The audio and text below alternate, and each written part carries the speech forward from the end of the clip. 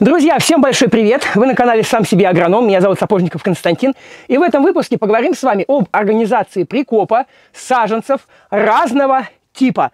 Как лучше поступать, как лучше организовывать эту агротехнику, как лучше сохранять то, что нам с вами приехало. Итак, приступим.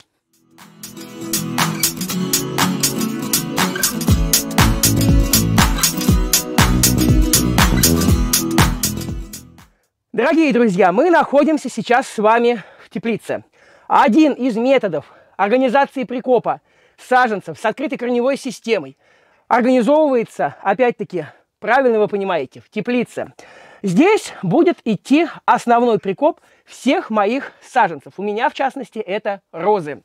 Итак, значит, друзья мои, мы работаем с вами чаще всего, то есть организовываем заказы, получаем саженцы из каких-то питомников в основном из краснодарских питомников. Саженцы могут отправляться в разные сроки. Могут отправляться рано, могут отправляться слишком поздно, могут отправляться так, как, в принципе, они должны отправляться. То есть по температуре вашего региона. Саженцы, которые мы с вами получаем, обычно выглядят вот так. То есть это открытая корневая система, она может быть в замотке какого-либо субстрата, это может быть торс опилками, это может быть там э, просто грунт, это может быть еще что-то, в зависимости от того, как питомник любит отправлять свои саженцы. То есть корневища днище загнутое, все это замотано в стрейч-пленку. В этой стрейч-пленке для сохранности влажности корня находится субстрат. Мы с вами берем такие саженцы, раскрываем, осматриваем корневую систему, а дальше предпринимаем какие-то действия. Либо высаживаем на постоянное место, если позволяет нам эта температура почвы. Когда приходят саженцы слишком рано, то есть, ну, к примеру, в сентябре у вас пришли саженцы, да, я отталкиваюсь от средней полосы,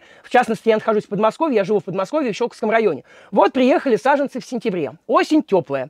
На улице стояла погода 20 градусов. Грунт, соответственно, 18-15 градусов составляет по температуре. Мы с вами взяли такой саженец, воткнули его в грунт, и он у нас что начал делать? Правильно, расти. И выглядеть вот такой саженец будет у нас вот таким вот образом. То есть, если бы я высадил бы такой корень в таком состоянии, розу в сентябре, на поле, на открытое место, то есть в розарий, в клумбу, в цветник, я бы получил бы вот такое развитие, такую вегетацию, то есть вот уже образование листьев, уже пробившуюся почку и так далее это все замерзнет, потому что оно не успеет вызреть. А почка потраченная. Да, вы скажете, ну там же есть резервные почки. Есть, друзья мои. Но эти почки могут пойти в слепые побеги, потому что основная главная почка, самая большая, самая толстая, и является залогом цветения у розы. Поэтому, когда ко мне приехали саженцы рано, я их не стал высаживать на постоянное место, я их высадил в горшок для укоренения. И, соответственно, вот у меня уже активная фаза развития розы есть, она получена. Когда можно сажать корень розы на постоянное место. Когда температура почвы равна от 12 градусов и ниже. В это время роза будет активно укореняться, а почка лопаться не будет. И на все на это розе нужно две недели. То есть взяли, обрезали корневую систему, замочили в каком-нибудь обеззараживателе, высадили, на постоянное место. Температура почвы 12 градусов. Постепенно начинает опускаться, остывать еще ниже. За две недели она перейдет, почва, в температурный показатель 7 градусов и ниже. Но за это время уже корни, всасывающая корневая система, у саженца появится. При этом почка не лопнет. Но если вы высадили раньше, грунт у вас, естественно, был теплее, пока это все опустится, Здесь уже появится всасывающая и лопается почка. Лопается почка, получаем с вами зеленую массу. Проходит заморозок, нет больше зеленой массы. Потрачена почка зря. А это был бы большой и мощный куст в следующем сезоне. Следовательно, друзья мои, вот вы спрашиваете, что делать, как организовывать прикоп. Организовывается прикоп двумя способами. Там еще есть подспособы, мы сейчас все с вами разберем. Первый способ – это вот когда приехали рано саженцы вот с такими корнями, высаживаем их вот в такие горшки и, соответственно, выставляем их на улицу, чтобы из-за ночных низких температур, но ночью, например, у нас было и 5 градусов, и 3 градуса, и 0, и так далее. Грунт остывает быстрее, в горшке быстрее остывает, но укоренение продолжается также интенсивно. То есть, я вам сейчас покажу пример, еще один. И этот пример выглядит вот так. То есть, горшок, обычный грунт с вашего участка и саженцы розы. То есть, тот же самый грунт, в котором бы у вас росла ваша роза. Мудрить, что-то придумывать, какой дополнительный грунт покупать не надо. Вы высаживаете, грунт здесь уже холодный, ледяной, Роза, соответственно, укоренившаяся, но почка при этом не лопнувшая. Вот мы получили вариант сохранение саженца в контейнере. Перспектива такого контейнера – саженца с закрытой корневой системой. То есть то, что обычно продается в садовых центрах, питомниках и так далее. Ранней-ранней весной. Вот так оно получается. Только чаще всего делают они это все по весне, ранней весной, ну, даже в феврале. Но это не суть важно. То есть есть саженец более поздней поставки, но неблагоприятной все равно температуры почвы. И, соответственно, почка не лопнувшая. Есть очень ранняя поставка. И тут уже полностью зеленая масса, а некоторые розы даже на бутонах вот здесь у меня стоят. И есть, соответственно, саженцы с голым корнем. Вот, что мы делаем с вами, как мы организовываем этот самый прикоп, зачем вообще он нужен, что он дает, как сохраняются саженцы в этом прикопе. Здесь тоже несколько способов. Первый способ в теплице, друзья мои. То есть я в теплице, это уже воздушно-сухое укрытие за счет каркаса поликарбоната. Могу организовать сохранность саженцев и дальнейшее раннее развитие, то есть вегетацию. Почему я и выбираю способ укоренения, то есть способ прикопа в контейнере и первоначально, конечно же, укоренения. Это что мне дает? Я вот сейчас выставлю саженцы, по весне я их пораньше вытащу из этого прикопа. С таким корнем саженцы из прикопа приходится доставать попозже, потому что такие саженцы нужно будет высаживать нам середина, конец апреля. А вот эти саженцы в середине-конце марта уже начнут бить свою почку. И в мае мы получим уже даже активное цветение, так как роза будет развиваться в благоприятной, комфортной температуре. Опять-таки в теплице. Вы спрашиваете, как прикопать? Друзья мои, все показываю, все рассказываю. Первый способ. Значит, мы имеем с вами вот такие вот саженцы без вегетации, без листьев, без набувшихся почек. То есть хороший, классный посадочный материал. Мы берем такой саженец, выкапываем траншею в нашей теплице определенной глубины. Глубина траншеи по высоте нашего горшка. У меня это полтора штыка лопаты. Берем наш саженец и ставим его лежа, вот таким вот образом. Не прям вот так положили весь горшок, да, вот таким вот. Нет, а именно под углом 45 градусов нашу траншею. Причем попкой горшка мы ставим к северу а э, побегами, веточками мы ставим к югу. Распределяете горшки таким образом, чтобы у вас побеги были э, в контакте с грунтом, потому что потом мы с вами будем присыпать, засыпать и так далее, и нам нужно, чтобы у нас ничего с вами не поломалось. Это вот первое распределение саженцев в прикопе вот таким вот образом. Если вы будете а, закапывать свои саженцы целиком и полностью, что это значит? То есть это когда мы с вами сейчас возьмем и все это грунтом закопаем, откинутым у нас в сторону. То есть вот у меня грунт, и вот так мы будем все это закидывать. Закидывать холмиком, чтобы у нас побеги были полностью в земле. А, при этом снег мы с вами не используем в виде укрытия уже здесь, иначе при колебании температур могут пойти подпривание из-за слишком сырого грунта и перепадов температур этих молодых зеленых побегов, в частности почек. Поэтому, если вы укрываете саженцы в теплице через контейнер, либо с голым корнем, снег не обязателен. Если вы будете прикапывать свои саженцы не так, как я вам сейчас показываю, а, например, стоя, вот так. Либо вот в эту сторону будете так вот э, ставить горшки вот по таким уклонам. Э, и побеги у вас будут находиться на поверхности. Вот как сейчас у меня, да. Часть вы прикопаете побегов, а часть будут у вас торчать зеленые сверху. То в этом случае снег необходимо сюда будет накидать.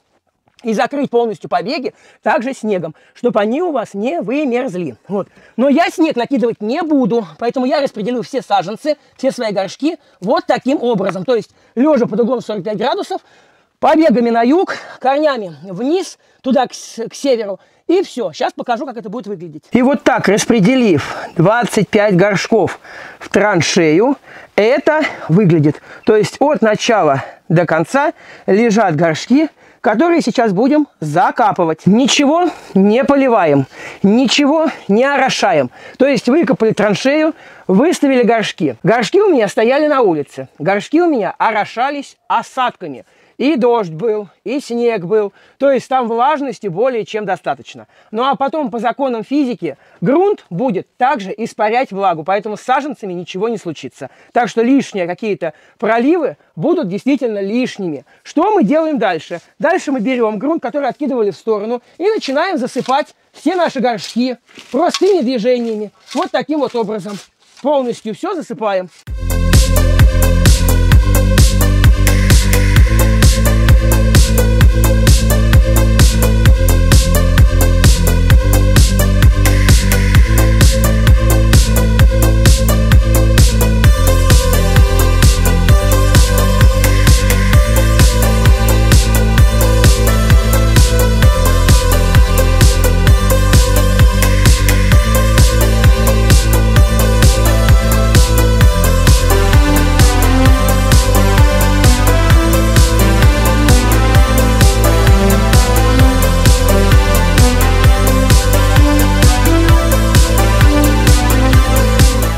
Вот, дорогие друзья, 25 горшков закрыты полностью грунтом. При такой организации прикопа дополнительно какая-то снежная шуба не нужна. Особенно если у вас теплица, именно теплица, будет наглухо закрыта всю зиму. Если вы будете делать промораживание грунта в теплице, ну, например, вы выбрали какую-то одну часть, у меня-то вся теплица будет в прикопе, да, то есть у меня здесь будет 5 рядов, то есть один ряд я сделал, еще осталось 4 ряда организовать. А, само собой, что у меня здесь никакого промораживания не будет. То есть, если вы планируете на одной какой-то грядочке сделать прикоп, а вся остальная площадь вы хотите, чтобы она промерзла, то в этом случае вы закапываете саженцы, сверху немного наносите снега, но это примерно где-то в январе месяце. Обычно в середине января требуется такая агротехника.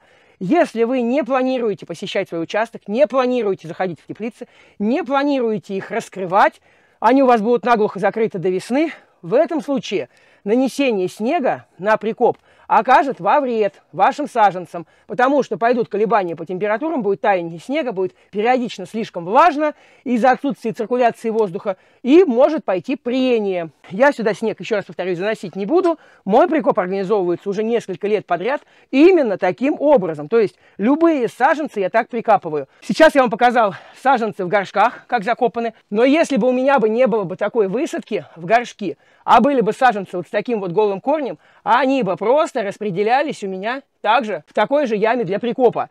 Если мы с вами говорим о прикопе, вот в таком состоянии получили саженцы, что с ними делать? Да, надо ли обрезать корень, надо ли еще что-то? Если корень поломанный, поврежденный, расщип какой-то есть, естественно, приводим в порядок, естественно, обрезаем. То есть берем с вами секатор, видим, что корень у нас не очень хороший, делаем обрезку, да? То есть подровнять корень в этом случае можно. Но если все корни у вас хорошие, без каких-либо повреждений, лучше это сделать весной. То есть произвести подравнивание корней и сделать срез для стимуляции образования быстрого укоренения на постоянном месте необходимо будет сделать. А так, друзья мои, если нет явных выраженных повреждений, вы берете саженец, достали его из упаковки, из замотки, и вот так вот в ямку его положили, и, соответственно, в ямке вы его прикопали. Если, еще раз хочу повторить вам один важный момент, вы планируете заносить снег, то в этом случае полностью лучше землей не засыпать зеленую массу, присыпать только небольшую часть, буквально 15-20 сантиметров грунтом, а всю остальную зеленую часть засыпать снегом, тогда саженцы лучше сохранятся. То есть саженец в этом случае будет дышать, дышать и не будет преть. Вот и все, друзья мои, что можно сказать об организации прикопа именно в теплице. Еще раз повторюсь, что горшки я использую с точки зрения для того, чтобы получить из такого корня сразу же саженец с закрытой корневой системой. То есть я потом достану эти горшки в середине марта, вытащу их из грунта, выставлю прямо в теплице, прямо на грунт, без каких-либо укрытий и так далее. Они начнут вегетировать, пробивать почку, в общем, расти и зацветать. В середине-конце мая я их в цветущем состоянии высажу на постоянное место. Такой способ мне дает проверить саженцы на сортность, плюс не сделать скоропалительных каких-то посадок, а потом пересадок и прочего. И также, дорогие друзья, такой способ мне дает лучшее сохранение саженцев на будущий год. Тем более осеннюю посадку я не люблю, так как необходимо спланировать карту посадок, карту участка, где какая роза будет находиться. Ну а если попадется пересорт, то весь наш план пойдет в тартарары. Поэтому я все высаживаю в технические горшки, укореняю и потом уже смотрю, что и как получается, чтобы не наляпать. Если вы планируете сделать организацию прикопа не в теплице, вот нет у вас теплицы, вы хотите сделать организацию в открытом грунте, организация там производится таким же самым образом, только саженцы хотите в горшки, хотите с голым корнем, не засыпаются полностью землей. Не засыпаются. То есть часть присыпается землей, часть остается на поверхности. Многие ставят ящики пластиковые сверху на эти концы, укрывают укрывным материалом, двойным 60-м спансбондом, для создания воздушной прослойки, уменьшения прения из-за количества снега. Но если у вас участок сырой, то у вас подпревание будет. Такая механика с ящиками и укрывным материалом в месте организации прикопа больше подходит тем, у кого мало снежной зимы и сухой участок. То есть, где постоянные ветродуи, где постоянная продуваемости, где нет застоя воды, где близко не располагаются грунтовые воды и где грунт при этом не тяжелый. Вот в этих случаях, да, ящики необходимо поставить, двойной спанбонд фанзон сверху натянуть, возможно, даже немного проложить и пленкой, чтобы там было максимально сухо, тогда саженцы перезимуют хорошо. А так, друзья мои, если вот вы находитесь в центральной полосе, как я, э, Москва, Московская область, Владимирская, Ярославская и так далее, а, близлежащие областя, то в этом случае организация прикопа в открытом грунте производится таким же самым образом, один в один. Хотите в горшках, хотите нет, устанавливаете в посадочную яму, закрываете часть грунтом, дальше все остальное сделает снег. По возможности, друзья мои, по возможности, ну мало ли, может быть, снег у нас поздно выпадет, лучше, ну именно большой хороший сугроб, лучше дополнительно сразу же, как только пойдет первый снег при помощи лопаты, накидать этот снег сверху. Ну а если нет такой возможности у вас, но ну, я имею в виду, что накидать снег, может, вы уезжаете с дачи, приезжаете только весной, тогда, соответственно, это все накидает за вас матушка природа. В принципе, саженцы тоже сохранятся. Может быть, немного придется это все подровнять. Когда организовывать такой прикоп в открытом грунте? Друзья мои, ну, естественно, тогда, когда у вас будет удобно, приемлемо копать землю для прикопа. А, потому что, например, сейчас вот у нас прошли дожди и очень, очень сыро. Копаешь с лопатой аж чуть ли не течет. В принципе, прикапывать уже можно, если у вас позволяют условия Поэтому как-то так. А, можно, кстати говоря, засыпать верхушечные побеги, опять-таки побольше, тогда уже стабильный минус будет а, ну, на, тот, на тот период времени, если нет снега, там еще чего-то, сухой землей, сухим торфом. Пожалуйста. То есть можно вот такой вот холмик организовать, как я, есть закопать полностью, но это только по морозу, только, только если не будет у нас а, качель по температуре, когда у нас стабилизируется постоянный минус. В этом случае, да, вот такую вот систему организации прикопа, закопки таких саженцев допустимо. Ну а так обычно классический прикоп открытого грунта, он организовывается просто саженцы под углом 45 градусов, а, грунт, побеги, снег, это все в земле и все. По весне достали и посадили на новое место. Вот и все. Также, дорогие друзья, из такого прикопа можно доставать пораньше, а, делать высадку в технические горшки, также в теплицу. То есть также можно получать из таких саженцев, из такого обычного классического прикопа с открытого грунта саженца с закрытой корневой системой. Но холодное укоренение должно быть. То есть, если вы достанете из прикопа, засунете в горшок, поставите в теплицу, а в теплице будет днем плюс 25, саженец у вас почернеет и высохнет. Такой прикоп организовывается только в открытой теплице, где будет прохладно. И там, да, тогда саженец укоренится. Вот, в принципе, и все, дорогие друзья, что хотелось вам рассказать об организации прикопа. То есть, хотите, организовываете его через горшок, прикоп горшка с засыпкой грунта, если вы в теплице, чтобы не засаскивать снег, либо без засыпки полностью грунта, ну, нанесите тогда снег. А, либо вы делаете такую же организацию без горшка, с голым корнем. Хотите также засыпайте, хотите нет, хотите в открытом грунте, хотите нет.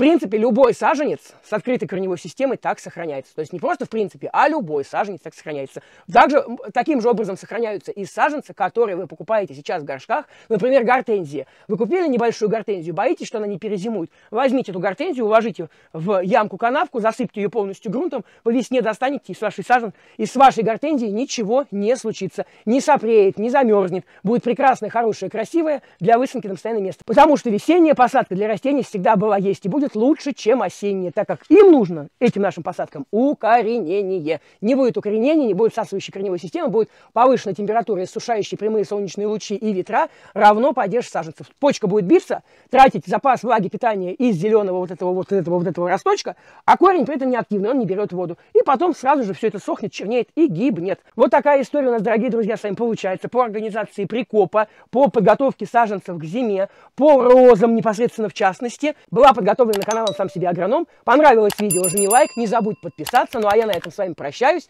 До новых встреч. Пока-пока.